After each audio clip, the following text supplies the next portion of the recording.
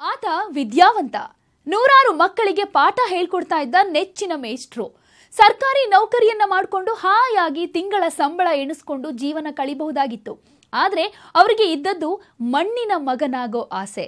ಇಂದು high tech ಕೃಷಿಯಲ್ಲಿ ತೊಡಗಿ ಕಡಿಮೆ ಜಮೀನಿನಲ್ಲೇ ಉತ್ತಮ ಆದಾಯ ಗಳಿಸೋ ಮೂಲಕ ಊರಿಗೆ ಮಾದರಿಯಾಗಿದ್ದಾರೆ. ಅಲ್ಪ ಸ್ವಲ್ಪ ಓದಿದ್ರೆ ಸಾಕು. ಸಂಬಳ ಎಣಿಸ್ತಾ ಹಣ ಸಂಪಾದನೆ ಮಾಡೋದೇ ಜೀವನ ಅಂದ್ಕೊಂಡವ್ರೆ ಹೆಚ್ಚು.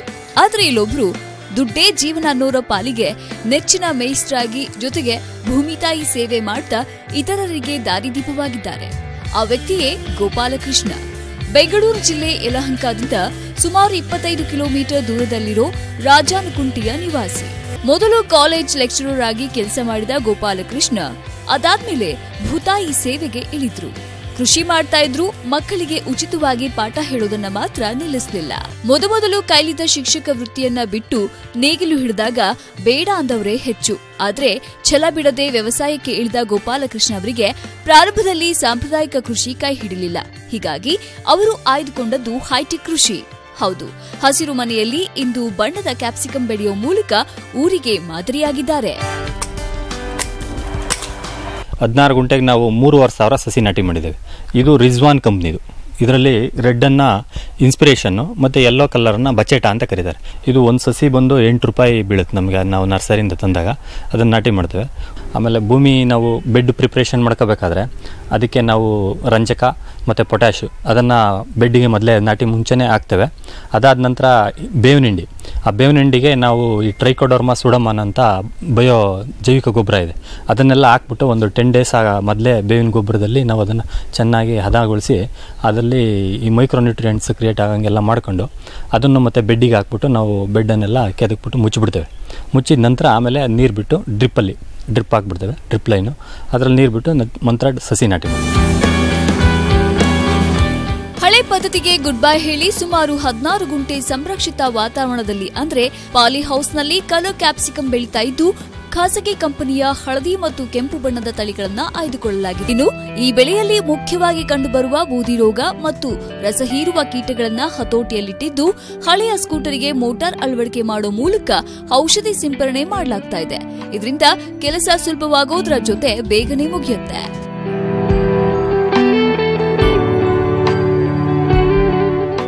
ಮತ್ತೆ ಇಲ್ಲಿ ಇನ್ನೊಂದು ಗಮನಿಸಬೇಕಾದ ಅಂಶ ಅಂದ್ರೆ ಮಳೆ ನೀರು ಸಂರಕ್ಷಣೆಗೆ ಹೆಚ್ಚಿನ ಆದ್ಯತೆ ನೀಡಿರುವುದು. ಹೌದು, ಹಸಿರು ಮನೆಯ ಮೇಲೆ ಬೀಳುವಂತ ಮಳೆ ನೀರನ್ನ ಕೃಷಿ ಹೊಂಡದಲ್ಲಿ ಶೇಖರಣೆಯಾಗುವಂತೆ ವ್ಯವಸ್ಥೆ ಮಾಡಲಾಗಿದೆ. ನೀರಿನ ಅಭಾವ ಇರೋ ಸಮಯದಲ್ಲಿ ಇದೇ ನೀರನ್ನ ಬಳಕೆ ಮಾಡಿಕೊಂಡು ಡ್ರಿಪ್ ಮೂಲಕ ಬೆಳೆಗೆ ಒದಗಿಸಲಾಗಿದೆ ನಾಟಿ ಮಾಡಿದ ನಂತರ ಎರಡು ತಿಂಗಳವರೆಗೂ ನಮಗೆ ಇದರಲ್ಲಿ ಟ್ರಿಪ್ಸ್ ಅಂತ ಬರುತ್ತೆ. ಸೊ ಅದಕ್ಕೆ ಅನೇಕ ಔಷಧಿಗಳಿದೆ. ಅದನ್ನೆಲ್ಲ ಸ್ಪ್ರೇ ಮಾಡ್ಕೊಬೇಕು. ಆಮೇಲೆ ಈ ಪಾಲಿಯೋಸಲ್ ಮೇಜರಾಗಿ ಈ ಕ್ಯಾಪ್ಸಿಕಮ್ಗೆ ಬೂದಿ ರೋಗ ಅಂತ ಬರುತ್ತೆ. ಆ ಬೂದಿ ರೋಗಕ್ಕೆ ಮತ್ತು ಔಷಧಿಗಳು. ಬೇವಿನ ಎಣ್ಣೆಯಿಂದಲೂ ಕಂಟ್ರೋಲ್ ಆಗುತ್ತೆ. ಬೂದಿ ರೋಗನೂ ಕಂಟ್ರೋಲ್ ಆಗುತ್ತೆ. ಹುಳುಗಳು ಸಹ ಕಂಟ್ರೋಲ್ ಆಗುತ್ತೆ ಬೇವಿನ ಎಣ್ಣೆಯಿಂದ. ಆಮೇಲೆ ಈ ಪಾಲಿಯೋಸಲ್ಲಿ ಇನ್ನೊಂದು ಮೇಜರ್ ಪ್ರಾಬ್ಲಮ್ ಅಂದರೆ ಈ ಕ್ಯಾಪ್ಸಿಕಮ್ಗೆ ನಿಮಿಟೆಡ್ ಅಂತ ಬರುತ್ತೆ ಬೇ ಬೇರಲ್ಲಿ ಗಂಟು ರೋಗ. ನಿಮೋಟೋಡ್ ಅಂತ ಕರೀತಾರೆ.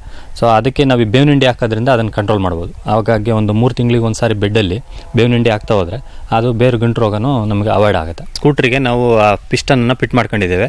ಸ್ಕೂಟ್ರಲ್ಲಿ ಒಂದು ಇನ್ನೂರು ಲೀಟ್ರ್ ನಾವು ಸ್ಪ್ರೇ ಮಾಡಬೇಕಂದ್ರೆ ಒಂದು ಅರ್ಧದಿಂದ ಮುಕ್ಕಾಲು ಲೀಟ್ರ್ ಪೆಟ್ರೋಲ್ ಬೇಕಾಗುತ್ತೆ ನಮಗೆ. ಅಷ್ಟು ಪೆಟ್ರೋಲ್ ಹಾಕ್ಕೊಂಡು ನಾವು ಸ್ಪ್ರೇ ಮಾಡ್ತೇವೆ. ಅದರಲ್ಲಿ ತುಂಬ ಫ್ರೆಜರ್ ಆಗಿ ಬರುತ್ತೆ. ನಮಗೆ ಹೈಟಿಗಾನ ನಾವು ಸ್ಪ್ರೇ ಮಾಡಬೇಕಾಗಿರೋದ್ರಿಂದ ಸ್ಕೂಟ್ರಲ್ಲೂ ಮಾಡ್ಬೋದು. ನಮಗೆ ಪಾಲಿಯೋಸಲ್ಲಿ ಹೆಚ್ಚು ನೀರು ಬೇಕಾಗಲ್ಲ. ಡ್ರಿಪ್ ಇರೋದ್ರಿಂದ ನಮಗೆ ದಿನಕ್ಕೆ ಹದಿನೈದರಿಂದ ಇಪ್ಪತ್ತು ನಿಮಿಷ ನಾವು ಡ್ರಿಪ್ಪಲ್ಲಿ ನೀರು ಬಿಟ್ಟರೆ ಸಾಕಾಗುತ್ತೆ. ಆಮೇಲೆ ಮಳೆ ಬಂದಾಗ ನಾವು ಮಳೆ ನೀರನ್ನು ಸ್ಟೋರ್ ಮಾಡ್ಕೊಳ್ತೇವೆ. ಆಚೆ ಕೃಷಿ ಹೊಂಡ ಅಂತೇಳಿ ಮಾಡ್ಕೊಂಡಿದ್ದೀವಿ. ಅದರಲ್ಲಿ ಪೇಪರ್ ಹಾಕಿದ್ದೀವಿ. ಈ ಮಳೆ ನೀರನ್ನು ಅದರಲ್ಲಿ ಸ್ಟೋರ್ ಮಾಡ್ಕೊತೇವೆ. ಆ ನೀರು ಮತ್ತು ಮಳೆ ಇಲ್ಲದೆ ಇದ್ದಾಗ ನಾವು ಬೋರ್ವೆಲ್ ನೀರನ್ನು ಡ್ರಿಪ್ಪಲ್ಲಿ ಯೂಸ್ ಮಾಡ್ತೇವೆ. ಹಂಗಾಗಿ ಮಳೆ ನೀರು ಮತ್ತು ಬೋರ್ವೆಲ್ ನೀರು ಎರಡನ್ನೂ ಯೂಸ್ ಮಾಡ್ಕೊಳ್ತಿದ್ದೇವೆ ಡ್ರಿಪ್ಪಲ್ಲಿ. ದಿನಕ್ಕೆ ಹದಿನೈದರಿಂದ ಇಪ್ಪತ್ತು ನಿಮಿಷ ನೀರು ಬಿಟ್ಟರೆ ಸಾಕಾಗುತ್ತೆ. ಇಲ್ಲಿ ಬೆಳೆದಿರುವ ತಳಿಗಳು ಅಪರಿಮಿತ ಬೆಳವಣಿಗೆ ಗುಣಗಳುಳ್ಳವು. ಸುಮಾರು ಹತ್ತರಿಂದ ಹನ್ನೆರಡು ತಿಂಗಳುಗಳ ಕಾಲ ನಿರ್ವಹಣೆ ಮಾಡಬಹುದು. ಪ್ರತಿ ಗಿಡ ತನ್ನ ಅವಧಿಯಲ್ಲಿ ಸುಮಾರು ಐದರಿಂದ ಆರು ಕೆಜಿ ಇಳುವರಿ ಕೊಡಬಲ್ಲದು. ಇಲ್ಲಿ ಸುಮಾರು ಮೂರ್ ಸಾವಿರದ ಐನೂರು ಸಸಿಗಳನ್ನು ನೆಡಲಾಗಿದ್ದು, ಅಂದಾಜು ಹದಿನೈದರಿಂದ ಹದಿನೆಂಟು ಟನ್ ಇಳುವರಿ ಬರುತ್ತೆ ಅನ್ನೋದು ರೈತರ ಲೆಕ್ಕಾಚಾರ. ಇನ್ನು ಇವರಿಗೆ ಮಾರುಕಟ್ಟೆಯ ತೊಂದರೆ ಇಲ್ಲ. ವ್ಯವಸ್ಥಾ, ವ್ಯಾಪಾರಸ್ಥರೇ ತೋಟಕ್ಕೆ ಬಂದು ಖರೀದಿಸುತ್ತಾರೆ ಸರಾಸರಿ ಕೆಜಿಗೆ ನಲವತ್ತು ರೂಪಾಯಿ ಬೆಲೆ ಸಿಕ್ಕರೂ ಹತ್ತು ತಿಂಗಳ ಅವಧಿಯಲ್ಲಿ ಐದರಿಂದ ಆರು ಲಕ್ಷ ಆದಾಯ ಬರುತ್ತೆ. ಇದರಲ್ಲಿ ಎರಡು ಲಕ್ಷ ಖರ್ಚು ತೆಗೆದ್ರೂ ರೈತರ ಕೈ ಸೇರೋದು ಮೂರರಿಂದ ನಾಲ್ಕು ಲಕ್ಷ. ಮೂರು ತಿಂಗಳಿಗೆ ನಮಗೆ ಕಲರ್ ಕ್ಯಾಪ್ಸಿಕಮ್ ಸ್ಟಾರ್ಟ್ ಆಗುತ್ತೆ. ಗ್ರೀನ್ ಆದರೆ ನಮಗೆ ಎರಡು ತಿಂಗಳು ಹತ್ತು ದಿವಸಕ್ಕೆ ಕಲ್ಲ ಕಾಯಿ ಸ್ಟಾರ್ಟ್ ಆಗುತ್ತೆ. ಕಲರ್ ಆದರೆ ಮೂರು ತಿಂಗಳು ತಾಳುತ್ತೆ. ಹತ್ತರಿಂದ ಹನ್ನೊಂದು ತಿಂಗಳವರೆಗೂ ಇದು ಕಾಯಿ ಬರ್, ಬರ್ತಾನೆ ಇರುತ್ತೆ ಕಂಟಿನ್ಯೂಸ್ ಆಗಿ. ಒಂದು ಗಿಡಕ್ಕೆ ನಾರ್ಮಲಾಗಿ ಐದರಿಂದ ಆರು ಕೆ ಜಿ ಫುಲ್ ಹಾರ್ವೆಸ್ಟ್ ಆಗೋವರೆಗೂ ಸಿಗುತ್ತೆ. ಅಂದರೆ ನಾವು ಒಂದು ಮೂರುವರೆ ಸಾವಿರ ಗಿಡಕ್ಕೆ ಒಂದು ಹದಿನೈದರಿಂದ ಹದಿನೆಂಟು ಟನ್ನು ಇಲ್ಲಿ ನಾವು ತಗೋಬೋದು ಇಳುವರಿ. ಒಟ್ಟು ಇಲ್ಡು ನಾವು ಒಂದು ಗುಂಟೆಗೆ ಒಂದು ಟನ್ ಕಲರ್ ಕ್ಯಾಪ್ಸಿಕಮ್ ತಗೊಬೋದು. ಗುಂಟೆ ಲೆಕ್ಕದಲ್ಲಿ ಹೋದ್ರೆ. ನಾವು ಈಗ ಕತ್ರಿಲಿ ಹಣ್ಣನ್ನೆಲ್ಲ ಕಟ್ ಮಾಡಿ ಫಸ್ಟು ಒಂದು ಕಡೆ ಸ್ಟೋರ್ ಮಾಡ್ತೇವೆ. ಅದರಲ್ಲಿ ಎ ಗ್ರೇಡು ಬಿ ಗ್ರೇಡ್ ಅಂತೇಳಿ ನಾವು ಕ್ಲೀನ್ ಮಾಡಿ ಬಾಕ್ಸ್ ಇರುತ್ತೆ. ಆ ಬಾಕ್ಸಲ್ಲಿ ನಾವು ಎ ಗ್ರೇಡನ್ನೆಲ್ಲ ಸ್ಕೇಲಲ್ಲಿ ತೂಕ ಮಾಡಿ ಬಾಕ್ಸ್ ಮಾಡಿ ಅದರಲ್ಲಿ ಬರೆದುಬಿಟ್ಟು ಇಟ್ಬಿಡ್ತೇವೆ ನಾವು. ಅವರು ಮತ್ತೆ ತಗೊಂಡೋಗ್ತಾರೆ. ನಮಗೆ ಮಾರ್ಕೆಟಿಂಗ್ ಈ ಕಲರ್ ಕ್ಯಾಪ್ಸಿಕಮ್ ಇರೋದ್ರಿಂದ ಇಲ್ಲೇ ಬಂದು ಪರ್ಚೇಸ್ ಮಾಡ್ತಾರೆ. ಮಾರ್ಕೆಟಲ್ಲಿ ಏನು ರೇಟ್ ಇತ್ತೋ ಅದೇ ರೇಟು ನಾವು ಕಟ್ ಮಾಡಿ ಬಾಕ್ಸ್ ಮಾಡಿಕೊಡ್ಬೇಕು. ಅವರು ಇದನ್ನು ಇಲ್ಲಿಂದ ಬೆಂಗಳೂರು ರೈಲ್ವೆ ಸ್ಟೇಷನ್ ತಗೊಂಡೋಗಿ ಅಲ್ಲಿಂದ ಮತ್ತೆ ಡೆಲ್ಲಿಗೆ ಪಾರ್ಸಲ್ ಹಾಕ್ತಾರೆ. ನಾವು ಒಂದು ಈಗ ಹದಿನಾರು ಗುಂಟೆ ಇದೆ. ಇಷ್ಟಕ್ಕೆ ನಮಗೆ ಟೋಟಲಾಗಿ ಗೊಬ್ಬರದ್ದು ಮತ್ತು ಲೇಬರು ಔಷಧಿ, ಈ ದಾರ ಎಲ್ಲ ಸುಮಾರು ಒಂದೂವರೆ ಲಕ್ಷ ಖರ್ಚಾಗುತ್ತೆ. ಸಸಿ ಎಲ್ಲ ಸೇರಿ ಒಂದೂವರೆ ಲಕ್ಷ ಖರ್ಚು ಬರುತ್ತೆ. ನಮಗೆ ಅಲ್ಲಿಗೆ ಇದು ಹದಿನೈದು ಗುಂಟೆಯಿಂದ ಒಂದು ಹದಿನೈದರಿಂದ ಹದಿನೆಂಟನ್ನು ಇಳುವರಿ ಬರುತ್ತೆ. ಆವ್ರೇಜ್ ರೇಟು ನಮಗೆ ನಲ್ವತ್ತು ರೂಪಾಯಿ ಸಿಕ್ಕಿದ್ರೆ ಒಂದು ಆರು ಲಕ್ಷ, ಐದರಿಂದ ಆರು ಲಕ್ಷ ಬರುತ್ತೆ. ನಮಗೆ ಒಂದೂವರೆ ಲಕ್ಷ, ಎರಡು ಲಕ್ಷ ಖರ್ಚು ಹೋದರೆ ನಮಗೆ ಒಂದು ಮೂರು, ಮೂರುವರೆ ಲಕ್ಷ ಮಾಡ್ಬೋದು. ಇದು ತುಂಬ ಒಳ್ಳೆಯದು ಅನ್ಸುತ್ತೆ ನಮಗೆ. ಇದಕ್ಕೆ ಮುಂಚೆ ಎಲ್ಲ ನಾವು ತರಕಾರಿ ಬೆಳೀತಾ ಇದ್ವಿ. ಸೊ ಮೂರು ಮೂರು ತಿಂಗಳಿಗೂ ನಾವು ಬೆಳೆ ಇಡಬೇಕು, ಕಿತ್ತಾಕಬೇಕು ರೇಟ್ ಸಿಗುತ್ತೆ, ಸಿಗಲ್ಲ ಅಂತ ಹೇಳಲಿಕ್ಕಾಗಲ್ಲ ಇದು ಲಾಂಗ್ ಟೈಮ್ ಇರುತ್ತಲ್ಲ. ಹತ್ತು ತಿಂಗಳಿಂದ ವರ್ಷದವರೆಗೂ ಇರೋದ್ರಿಂದ ಲಾಂಗ್ ಟೈಮಲ್ಲಿ ಯಾವುದಾದ್ರೂ ಒಂದು, ಎರಡು ಸೀಸನ್ ಅಲ್ಲಾದರೂ ನಮಗೆ ರೇಟ್ ಸಿಕ್ಕಿದ್ರೆ ಲಾಭದಾಯಕ ಆಗುತ್ತೆ. ಇವರ ಕೃಷಿಗೆ ಪತ್ನಿ ರಮ್ಯಾ ಕೂಡ ಸಾಥ್ ನೀಡಿದ್ದಾರೆ. ಬಹುತೇಕ ತೋಟದ ಕೆಲಸಗಳನ್ನ ದಂಪತಿಗಳೇ ನಿರ್ವಹಿಸುವ ಮೂಲಕ ಕೂಲಿ ಕಾರ್ಮಿಕರು ಸಿಗದ ಈ ಕಾಲದಲ್ಲಿ ಹೆಚ್ಚುವರಿ ಖರ್ಚಿಗೆ ಬ್ರೇಕ್ ಹಾಕ್ತಿದ್ದಾರೆ. ನಾವು ಕಡಿಮೆ ವಿಸ್ತೀರ್ಣದಲ್ಲಿ ಬೆಳೆ ಮಾಡ್ತಾ ಇರೋದ್ರಿಂದ ನಾವು ಎಲ್ಲ ನ- ನಾವೇ ಮಾಡ್ಕೊಬೋದು. ಲೇಬರ್ ಅಷ್ಟೊಂದು ಅವಶ್ಯಕತೆ ಇರೋದಿಲ್ಲ. ನಾವು ಮನೆ ಕೆಲಸ ಎಲ್ಲ ಮಾಡಿಬಿಟ್ಟು ಬಂದು ಹಸ್ಬೆಂಡ್ ಜೊತೆಲಿ ಕೆಲಸ ಮಾಡ್ತೀವಿ. ಇದು ಮನೇಲಿ ಹಸ್ಗಳಿದೆ ಹಸ್ಗಳು ನೋಡ್ಕೊತೀವಿ. ಒಂದು ಹತ್ತು ಲೀಟ್ರ್ ಹಾಲಾಗುತ್ತೆ ಅದು ಆ ಡೈರಿಗೆ ಹಾಕ್ತೀವಿ. ಅದರಿಂದನೂ ಆದಾಯ ಇರುತ್ತೆ. ಆಮೇಲೆ ಅದರಿಂದ ಬಂದು ಸಗಣಿ, ಗೊಬ್ಬರ ಎಲ್ಲ ತೋಟಕ್ಕೆ ಉಪಯೋಗ ಆಗುತ್ತೆ. ಜೈವಿಕವಾಗಿ ನಾವು ಉಪಯೋಗಿಸ್ಬೋದು. ಒಟ್ಟಾರೆ ಶಿಕ್ಷಕ ವೃತ್ತಿಯನ್ನ ಪ್ರೀತಿಸ್ತಾ ಆಧುನಿಕ ಕೃಷಿಯನ್ನ ಆಧುನಿಕ ಕೃಷಿಯಲ್ಲಿ ತಮ್ಮನ್ನ ತೊಡಗಿಸಿಕೊಂಡು ಇತರರಿಗೂ ಮಾರ್ಗದರ್ಶನ ಮಾಡ್ತಾ ಇರುವ ಗೋಪಾಲಕೃಷ್ಣ ಸಾರ್ಥಕ ಜೀವನ ನಡೆಸುತ್ತಿದ್ದಾರೆ ನವೀನ್, ನ್ಯೂಸ್ ಏಟಿನ್ ಕನ್ನಡ, ಚಿಕ್ಕಬಳ್ಳಾಪುರ. ಈತ ಈಗ ಲಕ್ಷಾಧಿಪತಿ. ಸಾಂಪ್ರದಾಯಿಕ ಬೆಳೆ ಬಿಟ್ಟು ಕಮರ್ಷಿಯಲ್ ಬೆಳೆಗಳಿಗೆ ಕೈ ಹಾಕಿದ ನಂತರ ಈತನ ಲಕ್ಕೆ ತಿರುಗಿದೆ ಅಂತ ಹೇಳಬಹುದು. ಹೌದು, ಅವರು ಆಯ್ದುಕೊಂಡ ತಳಿ ಅನುಸರಿಸಿದ ಕ್ರಮ ಮತ್ತು ಸಿಕ್ಕ ಅಧಿಕ ಬೆಲೆಯಿಂದಾಗಿ ಶುಂಠಿಯಲ್ಲಿ ಅತ್ಯಧಿಕ ಆದಾಯ ಗಳಿಸಿ ಯಶಸ್ವಿಯಾಗಿದ್ದಾರೆ. ಇವರೇ ಹಾವೇರಿ ಜಿಲ್ಲೆ ಹಾನಗಲ್ ತಾಲೂಕು ಹಿರೇಕಾಶಿ ಗ್ರಾಮದ ಯುವ ರೈತ ಸಿದ್ದಲಿಂಗಯ್ಯ ಹಿರೇಮಠ. ಈ ಮೊದಲು ಮೆಕ್ಕೆಜೋಳದಂತಹ ಸಾಂಪ್ರದಾಯಿಕ ಬೆಳೆಗಳನ್ನ ಬೆಳೀತಾ ಇದ್ದ ಇವರು ಆರಕ್ಕೇರದ ಮೂರಕ್ಕಿಳಿಯದ ಸ್ಥಿತಿಯಿಂದ ಬೇಸತ್ತು ಹೋಗಿದ್ರು. ಆದ್ರೆ ಶುಂಠಿಯನ್ನ ಬೆಳೆಯೋದಕ್ಕೆ ಶುರು ಮಾಡಿದ ಮೇಲೆ ಇವರ ಆರ್ಥಿಕ ಸ್ಥಿತಿಯೇ ಬದಲಾಗಿ ಹೋಗಿದೆ. ಇವರಿಗಿರೋದು ಎರಡು ಎಕರೆ ಜಮೀನು. ಅದು ಕಲ್ಲುಗಳಿಂದ ಕೂಡಿದ ಮಡ್ಡಿ ಭೂಮಿ. ಇಂತಹ ಭೂಮಿಯನ್ನೇ ಫಲವತ್ತಾಗಿಸಿ ಉತ್ಕೃಷ್ಟವಾಗಿ ಶುಂಠಿ ಬೆಳೆದಿದ್ದಾರೆ ಸಿದ್ದಲಿಂಗಯ್ಯ. ಹಿಮಾಚಲ ಅನ್ನೋ ತಳಿಯನ್ನ ಆಯ್ಕೆ ಮಾಡಿಕೊಂಡಿರೋ ಇವರು ಎಕರೆಗೆ ಹನ್ನೆರಡು ಕ್ವಿಂಟಾಲ್ನಷ್ಟು ಬೀಜದ ಗಡ್ಡೆಯನ್ನ ಬಳಕೆ ಮಾಡಿದ್ರು. ಕಾಲಕಾಲಕ್ಕೆ ಪೋಷಕಾಂಶಗಳ ನಿರ್ವಹಣೆಯ ಜೊತೆಗೆ ಸ್ಪ್ರಿಂಕ್ಲರ್ ಮುಖಾಂತರ ನೀರನ್ನ ಒದಗಿಸಲಾಗಿದೆ. ಅಷ್ಟೇ ಅಲ್ಲ, ಈ ಬೆಳೆಗೆ ಕಾಡುವಂತಹ ಗಡ್ಡೆ ಕೊಳೆ ರೋಗವನ್ನ ಪರಿಣಾಮಕಾರಿಯಾಗಿ ನಿಯಂತ್ರಣ ಮಾಡಿರುವುದರಿಂದ ಹೆಚ್ಚು ಇಳುವರಿ ಮತ್ತು ಗುಣಮಟ್ಟದ ಗಡ್ಡೆಗಳನ್ನು ಪಡೆಯಲು ಅನುಕೂಲವಾಗಿದೆ ಅಂತ ಹೇಳಬಹುದು.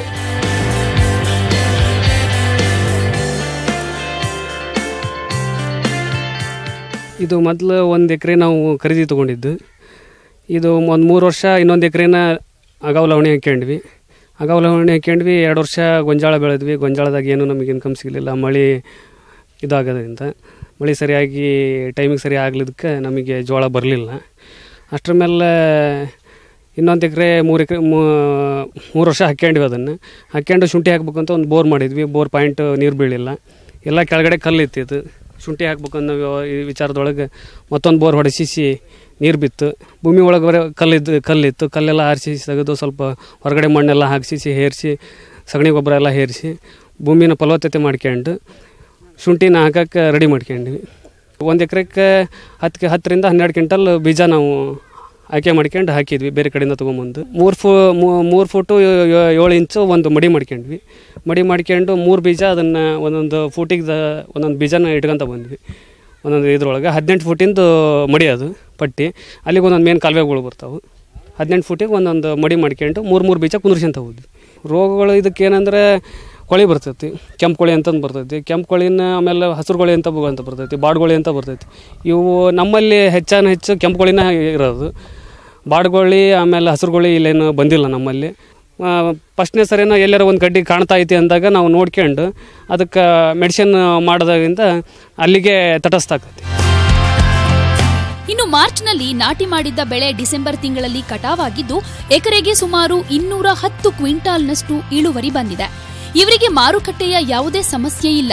ವ್ಯಾಪಾರಸ್ಥರೇ ತೋಟಕ್ಕೆ ಬಂದು ತೆಗೆದುಕೊಂಡು ಹೋಗೋದ್ರಿಂದ ಸಾಗಾಣಿಕಾ ವೆಚ್ಚ ಮತ್ತು ಮಾರ್ಕೆಟ್ ಕಮಿಷನ್ ಕೂಡ ಇರೋದಿಲ್ಲ. ರೈತರಿಗೆ ಕ್ವಿಂಟಾಲ್ಗೆ ಸರಾಸರಿ ಐದು ಸಾವಿರ ಬೆಲೆ ದೊರೀತಾ ಇದ್ದು, ಖರ್ಚು ತೆಗೆದು ಅಂದಾಜು ಎಕರೆಗೆ ಹತ್ತು ಲಕ್ಷದಷ್ಟು ಲಾಭ ಗಳಿಸಿದ್ದಾರೆ. ಹೊರಗಡೆ ಮಾರ್ಕೆಟ್ ನಮಗೆ ಗೊತ್ತಾಗಂಗಿಲ್ಲ.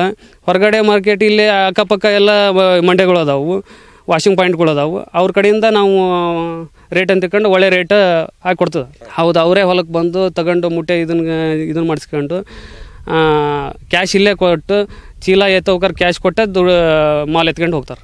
ದುಡ್ಡಿಗೆ ಏನೂ ತೊಂದರೆ ಇಲ್ಲ ಮಾರ್ಕೆಟಿಂದ ಏನೂ ತೊಂದರೆ ಇಲ್ಲ. ನಾವು ಈಗ ಎರಡು ನೂರ ಹತ್ತು ಕ್ವಿಂಟಲ್ ಇಳುವರಿ ತೆಗ್ದವಿ. ಒಂದು ಎಕರೆದೊಳಗೆ ಎರಡು ನೂರ ಹತ್ತು ಕ್ವಿಂಟಲ್ ಇಳುವರಿ ಬಂದೈತೆ ನಮ್ಮದು ಈ ಭೂಮಿ ಇದು ಇದ್ದು, ಸೌಳು ಭೂಮಿ ಇದ್ದು ನಾವು ಎರಡುನೂರ ಹತ್ತು ಕ್ವಿಂಟಲ್ ತೆಗ್ದೇವೆ. ಒಳ್ಳೆ ಇದನ್ನು ಮಾಡ್ಬಂದು ಎರಡುನೂರ ಐವತ್ತು ಮಟನೂ ತೆಗಿಬೋದು, ಒಳ್ಳೆ ಚೆನ್ನಾಗಿ ಬೆಳೆದ್ರೆ. ನಮ್ಮದು ಒಂದು ಎಕರೆಗೆ ಈಗ ಒಂದು ಲಕ್ಷ ನಲ್ವತ್ತು ಸಾವಿರ ರೂಪಾಯಿ ಖರ್ಚಾಗೈತಿ. ಈಗ ನಾವು ಒಂದು ಕ್ವಿಂಟಲ್ಲಿಗೆ ಒಂದು ಮೂಟೆಗೆ ಐದು ಸಾವಿರದ ಮುನ್ನ ಐದು ಸಾವಿರದ ಒಂದೂರ ಎಂಬತ್ತು ರೂಪಾಯಿ ಕೊಟ್ಟವಿ ಒಂದು ಮೂಟೆಗೆ. ಇದರಿಂದ ನಾವು ಲಕ್ಷಗಂಟ್ಲೆ ದುಡ್ಡು ನೋಡಿದ್ದು ಅಂದರೆ ಈ ಶುಂಠಿ ಒಳಗೆ ಬಿಟ್ಟರೆ ಬೇರೆ ಯಾವ ಬೆಳೆಗೂ ನಾವು ಬೆಳೆಯೋಕ್ಕೆ ಸಾಧ್ಯ ಇಲ್ಲ ಅನ್ನೋದು ನಮ್ಮ ಅಭಿಪ್ರಾಯ. ಒಟ್ಟಾರೆ ಉತ್ತಮ ತಳಿಯ ಆಯ್ಕೆ ಹಾಗೂ ವೈಜ್ಞಾನಿಕ ಬೆಳೆ ನಿರ್ವಹಣೆಯಿಂದ ಹೆಚ್ಚು ಫಸಲು ಮತ್ತು ಗುಣಮಟ್ಟದ ಗಡ್ಡೆಯನ್ನ ಪಡೆದಿರೋ ರೈತರು ಅಧಿಕ ಬೆಲೆ ಸಿಕ್ಕಿದ್ರಿಂದ ಲಕ್ಷಾಂತರ ರೂಪಾಯಿ ಆದಾಯ ಗಳಿಸುವಲ್ಲಿ ಯಶಸ್ವಿಯಾಗಿದ್ದಾರೆ. ನೋಡಿದ್ರಲ್ಲ ವೀಕ್ಷಕರೇ, ಇಂದಿನ ಯುವಕರು ಕೃಷಿಗೆ ಗುಡ್ ಬೈ ಹೇಳಿ ಪಟ್ಟಣ ಸೇರುವವರ ಮಧ್ಯೆ ಕೃಷಿಯಲ್ಲಿ ಖುಷಿ ಇದೆ ಅಂತೇಳಿ ಸಿದ್ಧಲಿಂಗಯ್ಯ ಹಿರೇಮಠ ಅವರು ಸಾಧಿಸಿ ತೋರಿಸಿದ್ದಾರೆ. ಇವರ ಈ ಕೃಷಿ ಸಾಧನೆ ಇನ್ನಷ್ಟು ಮುಂದುವರಿಯಲಿರುವುದೇ ನಮ್ಮ ಆಶಯ. ಕ್ಯಾಮರಾಮನ್ ಗಂಗಾಧರ ಜೊತೆ Sankanagouda M Devikoppa, news eighteen Kannada, Haveri. ಬಹಳಷ್ಟು ಕಡೆ ಮಳೆಯ ಕೊರತೆಯಿಂದಾಗಿ ಹಿಂಗಾರು ಬೆಳೆಗಳು ಕೈಕೊಟ್ಟಿವೆ. ಇಂತಹ ಬರ ಪರಿಸ್ಥಿತಿಯಲ್ಲೂ ಅಲ್ಪ ಸ್ವಲ್ಪ ನೀರಾವರಿ ಮತ್ತು ಒಣ ಬೇಸಾಯದಲ್ಲಿ ರೈತರು ಕಡಲೆಯನ್ನ ಬೆಳೆದಿದ್ದಾರೆ. ತಡವಾಗಿ ಬಿತ್ತನೆಯಾದ ಹಲವು ಕಡೆ ಬೆಳೆ ಈಗ ಕಾಯಿ ಕಟ್ಟೋ ಹಂತದಲ್ಲಿದೆ. ಈ ಹಂತದಲ್ಲಿ ಕಡಲೆಗೆ ಮುಖ್ಯವಾಗಿ ಕಾಡುವ ಕೀಟ ಅಂದ್ರೆ ಕಾಯಿ ಕೊರಕ. ಈ ಕೀಟದ ಹತೋಟಿಗೆ ರೈತರು ಬರೀ ರಾಸಾಯನಿಕಗಳನ್ನು ಬಳಕೆ ಮಾಡದೆ ಸಮಗ್ರ ಕ್ರಮಗಳನ್ನು ಅನುಸರಿಸಬೇಕು ಅಂತಾರೆ ಕೃಷಿ ಮಹಾವಿದ್ಯಾಲಯ ವಿಜಯಪುರದ ಕೀಟಶಾಸ್ತ್ರಜ್ಞ ಡಾಕ್ಟರ್ ಪ್ರಕಾಶ್. ಕಡಲೆ ಹಿಂಗಾರು ಹಂಗಾಮಿನಲ್ಲಿ ಬೆಳೆಯಲಾಗುವ ಬಹುಮುಖ್ಯ ದ್ವಿದಳ ಧಾನ್ಯದ ಬೆಳೆ. ರೈತನಿಗೆ ಈ ಬೆಳೆಯ ಬೇಸಾಯದಲ್ಲಿ ಎದುರಾಗುವ ಪ್ರಮುಖ ಸಮಸ್ಯೆ ಅಂದ್ರೆ ಕೀಟ ಮತ್ತು ರೋಗಗಳದ್ದು. ಕೀಟಗಳಲ್ಲಿ ಹೆಚ್ಚು ಆರ್ಥಿಕ ನಷ್ಟವನ್ನು ಉಂಟುಮಾಡುವುದು ಕಾಯಿ ಕೊರಕ. ಇದನ್ನ ಹಸಿರು ಕೀಡೆ ಈ ಕಾಯಿ ಕೊರಕ ಬಹುಬೆಳೆ ಭಕ್ಷಕವಾಗಿದ್ದು ಸುಮಾರು ನೂರ ಎಂಬತ್ತ ಎರಡು ಬೆಳೆಗಳ ಮೇಲೆ ಕಾಣಿಸಿಕೊಂಡು ಹಾನಿ ಮಾಡುತ್ತೆ ಅನ್ನೋದು ಸಂಶೋಧನೆಯಿಂದ ತಿಳಿದು ಬಂದಿದೆ. ಬೆಳೆ ಹೂವಾಡುವ ಹಂತದಲ್ಲಿದ್ದಾಗಲೇ ಶುರುವಾಗುತ್ತೆ ಇದರ ಕಾಟ. ಕಾಯಿಗಳನ್ನ ಕೊರೆದು ತಿನ್ನೋದ್ರಿಂದ ಗುಣಮಟ್ಟ ಮತ್ತು ಇಳುವರಿ ಗಣನೀಯವಾಗಿ ಕಡಿಮೆಯಾಗುತ್ತೆ. ಈ ಕೀಟದ ವಿಶೇಷತೆ ಅಂದ್ರೆ ಕಾಯಿಯ ಒಳಗಡೆ ಅರ್ಧ ದೇಹವನ್ನಿಟ್ಟು ಇನ್ನರ್ಧ ದೇಹವನ್ನ ಹೊರಗೆ ಹಾಕಿ ಕಾಯಿಯನ್ನ ತಿನ್ನೋದು. ಇಲ್ಲಿ ಒಂದು ಈ ಹಸಿರು ಕೀಡೆ ಅಥವಾ ಹೆಲಿಕೋರ್ಪ ಆರ್ಮಿಜರ ಅಂತ ಹೇಳ್ತೀವಲ್ಲ, ಇದು ಮುಖ್ಯವಾಗಿ ಒಂದು ಹಾನಿ ಮಾಡ್ತಕ್ಕಂತಹ ಹಂದ ಅದರ ಮರಿಹುಳು ಅಥವಾ ಕೀಡಿ ಅಂತಂದು ಹೇಳ್ತೀವಿ ನಾವು. ಈ ಒಂದು, ಇದರ ಒಂದು ಪ್ರೌಢ ಕೀಟ ಮೂಲತಃ ಪತಂಗವಾಗಿದ್ದು, ಇಲ್ಲಿ ಏನು ಮಾಡ್ತೈತೆ ಅಂದರೆ ಈ ಪತಂಗ, ಹೆಣ್ಣು ಪತಂಗ ರಾತ್ರಿ ಸಮಯದಲ್ಲಿ ಐದುನೂರರಿಂದ ಸಾವಿರ ತತ್ತಿಗಳನ್ನು ಇಡುತ್ತದೆ. ಈ ಒಂದು ಎಲೆ ಭಾಗದಲ್ಲಿ ಇರ್ತಕ್ಕಂಥ ಬಿಡಿ ಬಿಡಿಯಾಗಿ ಒಂದು ಸಾಸಿವೆ ಕಾಳು ಅಥವಾ ಒಂದು ನಾವು ಸಾಸಿವೆ ಕಾಳು ಥರದಂಥ ಒಂದು ಬಿಳಿಯಾದಂಥ ಬಿಡಿ ಬಿಡಿ ಆದಂಥ ಒಂದು ತತ್ತಿಗಳನ್ನು ಇಡ್ತೈತಿ. ಈ ತತ್ತಿಗಳು ಒಡೆದು ಮರಿಹುಳುಗಳು ಏನಾಗ್ತಾವಲ್ಲ, ಎಲೆಯ ಭಾಗವನ್ನು ಪತ್ರಹರಿತನ್ನು ಕೆರೆದು ತಿಂತಾವು. ಆಮೇಲೆ ಏನಾಗ್ತಾವೆ? ಬೆಳೆ ಬೆಳೆದಂತೆ ಮತ್ತು ಆ ಕೀಡೆ ವಿವಿಧ ಹಂತಗಳು ಏನು ಮಾಡ್ತಾವೆ? ಕಾಯಿಯನ್ನು ಕೊರೆದು ತಿಂತತೆ. ಈ ರೀತಿಯಾಗಿ ಮಾಡೋದ್ರಿಂದ ಇಳುವರಿಯಲ್ಲಿ ಅಧಿಕ ಪ್ರಮಾಣವಾಗಿ ಕಡಿಮೆ ಆಗ್ತತಿ.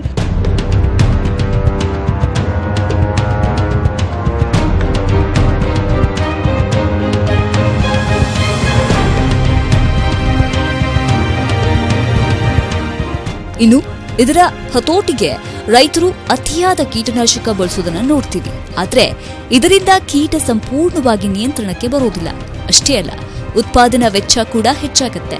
ಆದ್ರಿಂದ ರೈತರು ಆದಷ್ಟು ರಾಸಾಯನಿಕ ಸಿಂಪರಣೆಗೆ ಕಡಿವಾಣ ಹಾಕಿ ಸಮಗ್ರ ಕ್ರಮಗಳನ್ನು ಅಳವಡಿಸಿಕೊಳ್ಳೋದು ಹೆಚ್ಚು ಸೂಕ್ತ ಅಂತಾರೆ ಕೀಟಶಾಸ್ತ್ರಜ್ಞರು.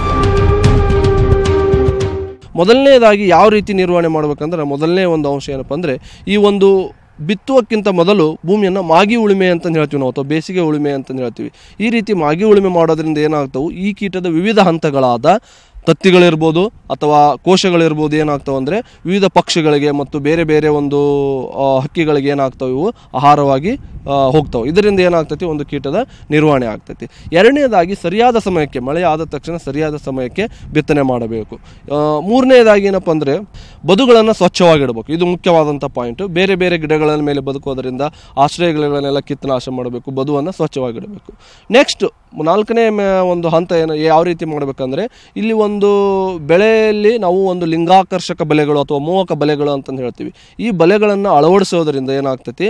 ಹೆಣ್ಣು ಪತಂಗಗಳು ಮತ್ತು ಗಂಡು ಪತಂಗಗಳಿಗೆ ನಾವು ಅವುಗಳನ್ನು ಏನು ಮಾಡ್ತೇವೆ? ಅಟ್ರಾಕ್ಟ್ ಮಾಡ್ತೇವೆ. ಆಕರ್ಷಣೆ ಮಾಡಿ ಆ ಒಂದು ಪತಂಗ, ಆ ಒಂದು ಮೋಹಕ ಬಲೆಗಳಲ್ಲಿ ಬೀಳ್ತವೆ. ಇದರಿಂದ ಏನಾಗ್ತವೆ? ಎಷ್ಟು ಒಂದು ದಿನದಲ್ಲಿ ಅಥವಾ ಎರಡು ದಿನದಲ್ಲಿ ಎಷ್ಟು ಒಂದು ಪ್ರೌಢ ಕೀಟಗಳು ಬಂದು ಆ ಬಲೆಯಲ್ಲಿ ಬೀಳ್ತವೆ? ಅದ್ರ ಮೇಲೆ ಏನು ಮಾಡಬೇಕಂದ್ರೆ ನಾವು ಅಸೆಸ್ ಮಾಡಬೇಕು. ಅಂದರೆ ನಾವು ನಿರ್ಧಾರ ಮಾಡಬೇಕು. ಎಷ್ಟು ಒಂದು ಆ ಕೀಟದ ಹಾವಳಿ ಬಾಧೆ ಇದೆ? ಆ ಬಾಧೆಗೆ ಅನುಗುಣವಾಗಿ ನಾವು ಅದನ್ನು ಯಾವ ಬಾಧೆ ಇದೆ? ಎಷ್ಟು ಹಂತದಲ್ಲಿದೆ? ಅದನ್ನು ಯಾವ ರೀತಿ ನಿರ್ವಹಣೆ ಮಾಡಬೇಕು ಅನ್ನೋದು.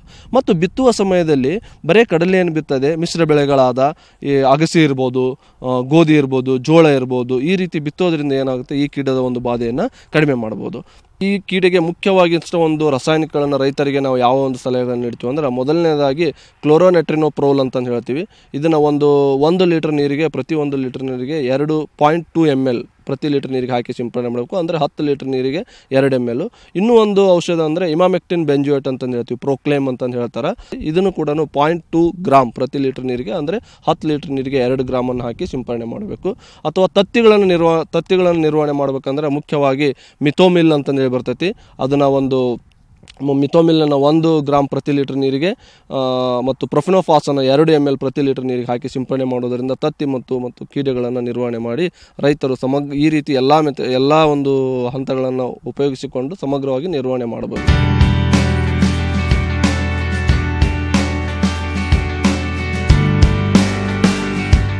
ಒಟ್ಟಾರೆ ಕಡಲೆ ಬೆಳೆಗಾರರು ಸಮಯಕ್ಕೆ ಸರಿಯಾಗಿ ಕೀಟದ ಹಾನಿಯನ್ನು ಗುರುತಿಸಿ ಪರಿಸರ ಸ್ನೇಹಿ ಕ್ರಮಗಳನ್ನು ಅಳವಡಿಸಿಕೊಳ್ಳುವುದರ ಜೊತೆಗೆ ಅವಶ್ಯವಿದ್ದಾಗ ಮಾತ್ರ ಕೀಟನಾಶಕಗಳನ್ನು ಸಿಂಪರಣೆ ಮಾಡಿದಾಗ ಮಾತ್ರ ಈ ಕಾಯಿಕೊರಕವನ್ನ ಪರಿಣಾಮಕಾರಿಯಾಗಿ ನಿಯಂತ್ರಣ ಮಾಡೋಕೆ ಸಾಧ್ಯ.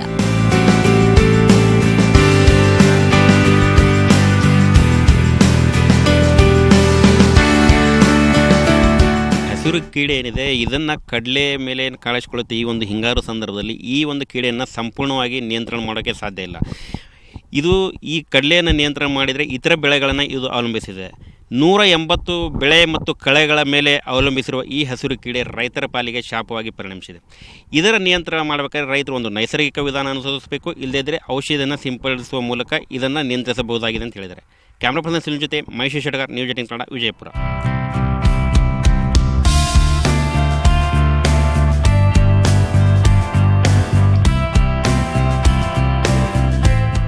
ರೈತ ಬಾಂಧವರೇ, ಇವತ್ತಿನ ಅನ್ನದಾತ ಕಾರ್ಯಕ್ರಮ ನಿಮಗೆ ಇಷ್ಟವಾಯಿತು ಅಂದ್ಕೊಳ್ತೀವಿ. ಮತ್ತಷ್ಟು ಮಾಹಿತಿಗಳ ಜೊತೆ ನಾಳೆಯ ಅನ್ನದಾತ ಕಾರ್ಯಕ್ರಮದಲ್ಲಿ ಭೇಟಿಯಾಗೋಣ. ನೋಡ್ತಾ ಇರಿ ನ್ಯೂಸ್ ಏಟೀನ್ ಕನ್ನಡ. ಜಾಲ ನಮ್ಮದು, ಬಲ ನಿಮ್ಮದು.